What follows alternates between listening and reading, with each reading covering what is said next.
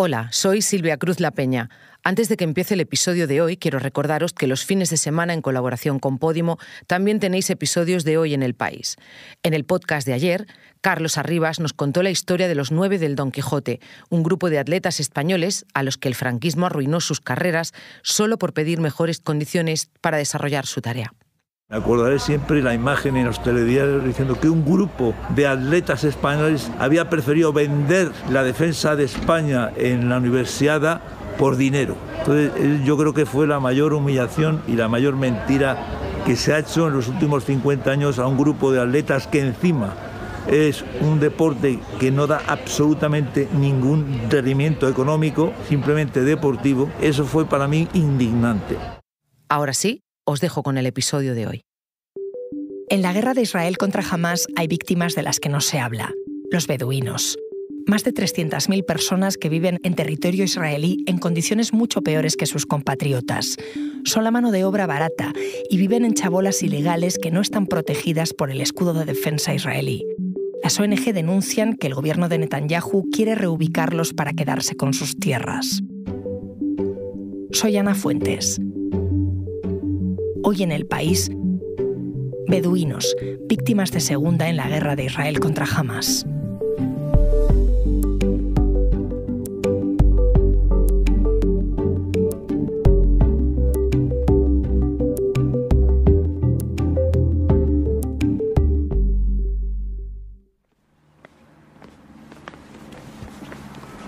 Thank you. How are you? Bárbara. Bárbara. Are you? Hola Luis. Hola Ana.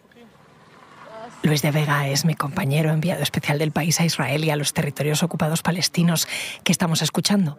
Mira, estamos escuchando la, la llegada a Jura. Jura es una de las localidades israelíes donde la mayoría de la población es beduina. Está ubicada a unas decenas de kilómetros desde la franja de Gaza en el desierto israelí del, del Negev. Los habitantes de Jura, como eh, el de otras localidades eh, mayoritariamente beduinas, pertenecen a ese 20% de la población árabe y musulmana que conforman los 10 millones de ciudadanos que habitan en Israel, que muchas veces pensamos que, que son todos judíos y hoy vamos a ver que no, que no lo son.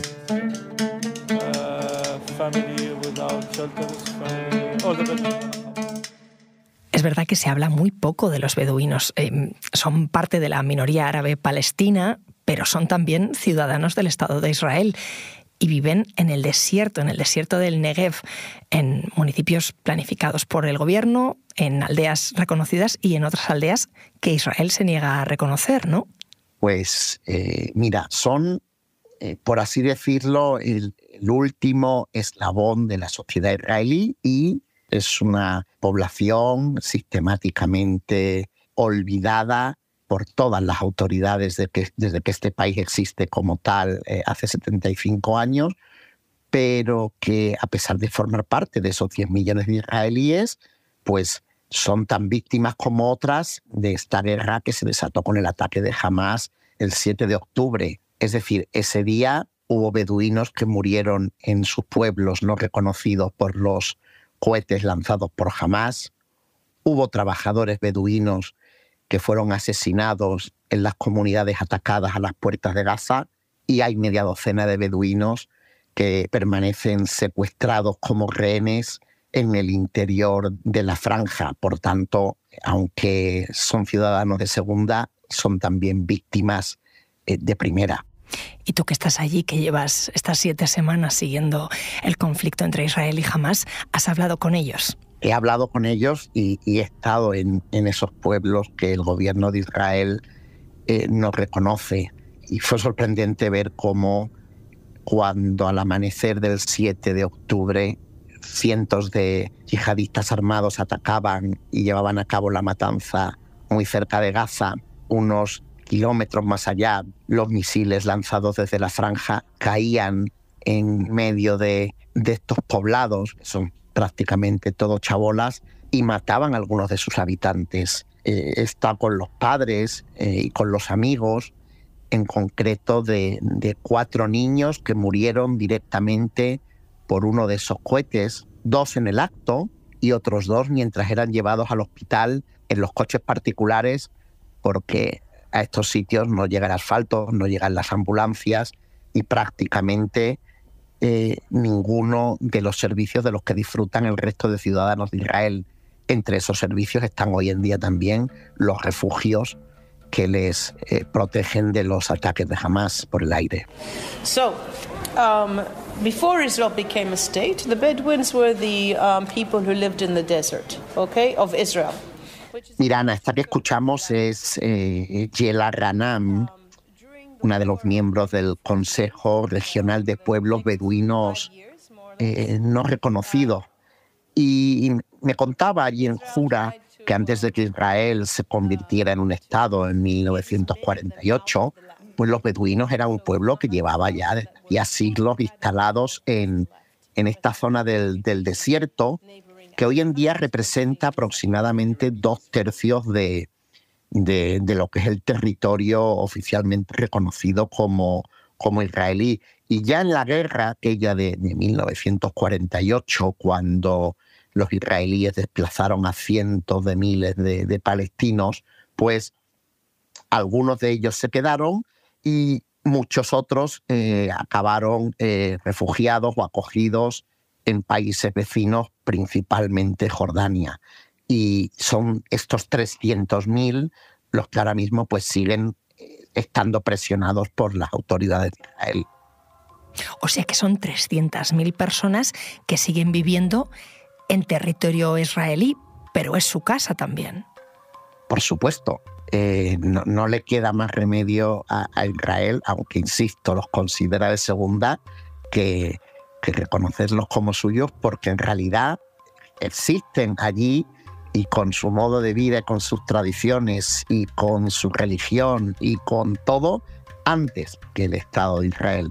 Pero claro, tenemos que tener en cuenta que de esos 300.000, eh, aproximadamente 80.000 viven en 37 asentamientos que no tienen reconocimiento oficial, no tienen una dirección en el DNI ni, ni, muchos servicios que consideramos normales en cualquier país desarrollado, como se considera eh, Israel hoy en día. Hay otras 35.000 personas que es verdad que habitan en, en, pueblos y localidades que se han ido reconociendo, sobre todo a principios del siglo XX, y la mayoría acabaron eh, aceptando y siendo movilizados a siete municipios, como el referido de Jura, que Israel creó entre los años 70 y los años 90 del, siglo XX. Y a día de hoy, ¿cuál es su relación, la relación de estos beduinos con el gobierno de Netanyahu?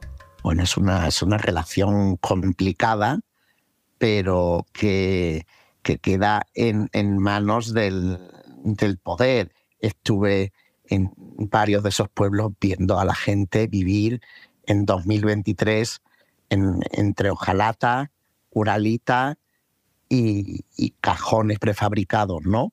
No es gente que no quiera progreso, es gente que no quiere el progreso a la fuerza. Es decir, lo que Israel quiere es expulsarlos de estas zonas y eh, alejarlos de su modo tradicional de, vida. ¿Y, cómo viven? Cuéntame, Luis, porque tú has estado con ellos, me has hablado de mucha precariedad, de asentamientos. ¿Dónde viven? ¿Cómo lo describirías? Pues mira, eh, con eh, la ayuda de, de Yela, de, como decía, miembro del Consejo Regional de, Pueblos eh, Beduinos No Reconocidos y otros activistas, pues hemos podido viajar a, varios de estos lugares olvidados y conversar y convivir durante un rato con, con las poblaciones locales sitios donde pues hay 5.000 niños que ni siquiera tienen acceso a guardería, donde los niveles de pobreza son los más altos del país, donde, insisto, no están protegidos de los misiles que llegan desde, desde la vecina Gaza, donde los niños cuando se ponen malos no tienen eh, un médico a mano, donde ir al colegio es un suplicio para muchos padres y madres que eh, necesitan sacarlos a las carreteras principales para que en el mejor de los casos los recojan los autobuses, no tienen alcantarillado, eh, no tienen, insisto, aquello más básico de lo que disfrutan la inmensa mayoría de los ciudadanos eh, reconocidos por Israel. Y en el momento muchas veces en el que deciden, pues para hacer frente a esta precariedad, construirse una vivienda un poco mejor, viven permanentemente bajo el peligro de que vengan las autoridades a destruírsela. So the siege was the first concentration, and then they to concentrate um, by putting them into towns. Lo que nos quiere hacer entender Yela Rana es el nivel de ilegalidad en el, que, en el que viven. Es decir, estos pueblos no existen oficialmente. Es que es ilegal prácticamente todo lo que allí ocurre, más básico, como una vivienda, hasta el intento de que, de que una vía de comunicación eh, decente llegue hasta allí y que ayude eh, a, la población beduina a tener un cordón umbilical con la, con la realidad israelí que no lo tienen. Cuando dices que no existen, ¿te refieres a que, por ejemplo, no salen sus asentamientos en los mapas? A lo mejor en Google Maps los podemos encontrar, pero que el nombre de un pueblo aparezca en Google Maps no otorga reconocimiento a la hora de que haya partidas presupuestarias, a la hora de que la inmensa mayoría de los partidos políticos los consideren como votantes o como ciudadanos, o a la hora de que representen un porcentaje importante de la población como para interesarse directamente por sus problemas. Es decir, la falta de derechos que sufren los beduinos en Israel los considera en, un problema residual. Esos 300.000 personas sin derecho no son considerados eh, de importancia por la inmensa mayoría de los gobernantes de este país. Ahora me sigues contando, Luis. Enseguida volvemos. Estábamos charlando sobre los beduinos en Israel. Me hablabas de la ilegalidad, de la falta de reconocimiento. ¿Tiene el Estado de Israel alguna intención de que cambien las cosas, de reconocer los asentamientos de esas 300.000 personas? Históricamente no lo ha tenido y coyunturalmente en este momento con el gobierno que, lidera el primer ministro Benjamin Netanyahu eh, bastante menos. Hemos preguntado por ello y ni los propios beduinos ni los activistas que tratan a golpe de recurso ante la justicia de que se cumplan sus derechos eh, son, son optimistas eh, a corto, a medio y a largo plazo.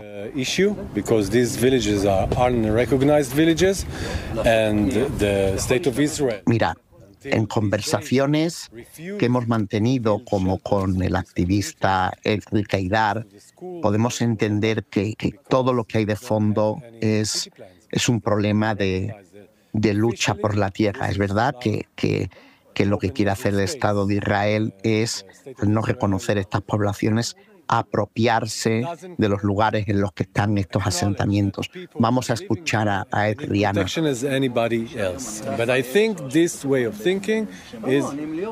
Edri trata de, de hacernos ver cómo en estos días de guerra el hecho de que estas poblaciones no estén reconocidas y de que oficialmente no haya viviendo población en ella, es la excusa perfecta para que el Estado de Israel, con un nivel tecnológico y de defensa antiaérea de los mejores del mundo, no despliegue sobre estos lugares lo que se conoce como la cúpula de hierro. La cúpula de hierro es un sistema antiaéreo que es capaz de detectar y acabar antes de que impacten con aproximadamente el 90% de los misiles que llegan desde el exterior. Básicamente la vecina Gaza, aunque estos días estamos viendo que llegan también eh, desde Yemen lanzados por, por los hutíes. Y al no eh, reconocer eh, que existen estas personas allí, nos encontramos con que mueren niños como los de este pueblecito en el que hemos estado. No solamente mueren, sino que aquellos heridos que podrían probablemente haber eh, salvado su vida, no eh, llegan vivos al hospital. O sea, Luis, que los beduinos en Israel no solo no tienen reconocidos sus asentamientos, sino que no cuentan con los servicios más básicos, los colegios, los médicos, y tampoco están protegidos por el sistema de defensa antimisiles mm, que beneficia al grueso de la población israelí. Efectivamente, es tan conocido el sistema de la cúpula de hierro, la base de la protección de Israel eh, antiaérea ahora mismo, pues eh, sobre todo con Hamas desde Gaza, pero también con Hezbollah desde el Líbano, que Ucrania se lo pidió, entre comillas, prestado a Netanyahu para que le protegiera de lanzamiento de misiles y de drones por parte del ejército ruso.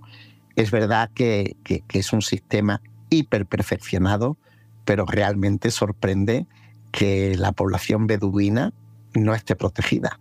Si el Estado no va a hacer nada y ellos lo tienen asumido, ¿qué dicen los activistas y, las ONGs? Los activistas y las ONGs viven a golpe de recurso en los tribunales. Son muchas botas de sudor, eh, muchas horas de, gabinetes de, abogados y muchas puertas para conseguir eh, muy poco frente a lo que consideran que es una discriminación y una negligencia sistemática del, Estado de Israel. Nos lo decía claramente Marwan Abufrier, miembro de la, ONG Adalah, que trata de defender los derechos de la población árabe israelí, que dice, la tierra de los beduinos es oro para Israel. Con todo esto que me has contado, Luis, los beduinos, ciudadanos de segunda, se ocupan de ellos, sus conciudadanos de primera, los israelíes. Pues mira, es verdad que hemos escuchado voces como la de Yela Hanam o como la de Efri, que en su día a día luchan de manera permanente por sacar a la luz los problemas de la población beduina. Pero son, hay que reconocerlo, una, una auténtica minoría. Eh, ellos nos, han estado apuntando estos días que algo tan simple como esos refugios antiaéreos que llegan fácilmente o que sistemáticamente por ley tienen las casas de Israel, aquí no han llegado. Ellos mismos, eh, con los fondos que reciben o con los que recaudan de estas organizaciones humanitarias y otro tipo de ONGs, han logrado distribuir en las últimas semanas un centenar de refugios, que para que os hagáis una idea, son tuberías de, cemento para que en caso de que prevean un ataque se puedan meter dentro de los ciudadanos. Son más frágiles que la mayoría de lo que tienen eh, los, el resto de israelíes, pero ese centenar de refugios no llega ni siquiera al 10% de los que tendría que haber instalado el Estado de Israel para proteger en esta guerra a los beduinos. Gracias, Luis. Gracias a ti, Ana.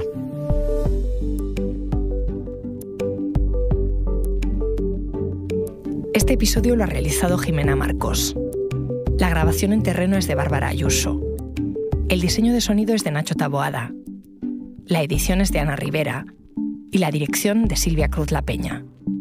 Yo soy Ana Fuentes y esto ha sido Hoy en el País. Mañana volvemos con más historias. Gracias por escuchar.